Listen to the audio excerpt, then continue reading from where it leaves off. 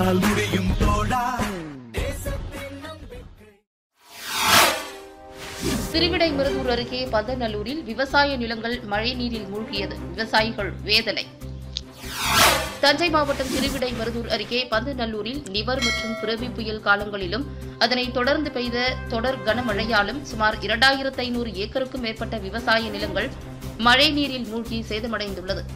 நெய்குப்பை கலைமணி நாகலாம்சேரி உள்ளிட்ட பகுதிகளில் பாதிக்கப்பட்ட விவசாயிகளுக்கு நிவாரணம் வழங்க அரசு இதுவரை எந்த நடவடிக்கையும் எடுக்கவில்லை என பந்தநல்லூர் சுற்றியுள்ள விவசாயிகள் குற்றம் சாட்டியுள்ளனர்.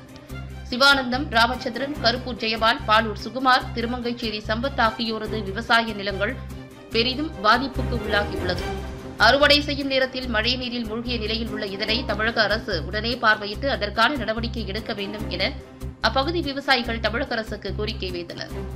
இதனைத் தொடர்ந்து அங்கு வந்து பார்வையிட்ட பந்தநல்லூர் வருவாய் ஆய்வாளர் இதுவரை எந்த ஒரு நடவடிக்கையும் எடுக்கவில்லை எனவும் அப்பகுதி வருவாய் ஆய்வாளர் மீது மக்கள் குற்றச்சாட்டு வைத்துள்ளனர்.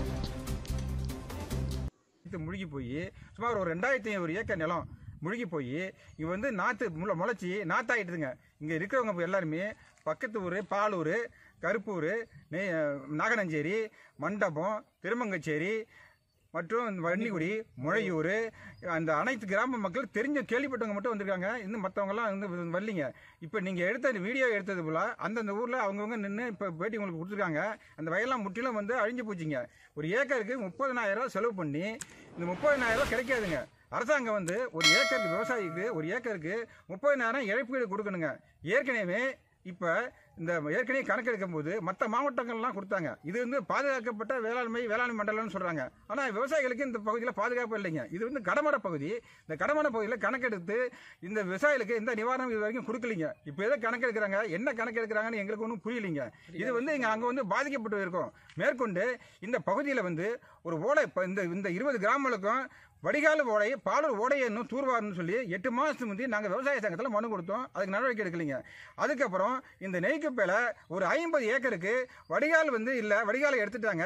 இது நடவடிக்கை எடுக்குன்னு பந்தனூர் வட்ட ஆய் வருவாய் ஆய்வாளருக்கும் தாசில்தாருக்கும் மாவட்ட ஆட்சியருக்கும் கொடுத்தோம். அதுக்கு நடவடிக்கை எடுக்கலைங்க இந்த பந்தனூர் வருவாய் ஆய்வாளர் நடவடிக்கை எடுக்காத காரணத்தால் நெய்க்குப்பேலையில் ஒரு பை ஐம்பது ஏக்கர் நிலம் அதிக பாதிப்புக்கு ஏற்பட்டு போச்சுங்க. இந்த அதிக பாதிப்புக்கு ஏற்பட்டது காரணம் பந்தனூர் வருவாய் ஆய்வாளர் தாங்க காரணம். இது அதிக பாதிப்பு ஏற்பட்டு போச்சு. இந்த பகுதியில் வடிகால் வந்து தூர் வராத காரணத்தினாலையும் வடிகாலை அமைச்சு கொடுக்காத காரணத்தினாலையும் அதிக பாதிப்பு ஏற்பட்டு போச்சு இப்போ அதிக பாதிப்பு ஏற்பட்ட இடங்களை வந்து இந்த அதிகாரிகள் வந்து பார்வையிட்டு எங்களுக்கு வந்து அதிகமாக எங்களுக்கு ஏக்கருக்கு முப்பதாயிரம் ஏற்பாடு கொடுக்கணும் இந்த அரசை வேண்டி கேட்டுக்கொள்கிறேன். நன்றி வணக்கம்.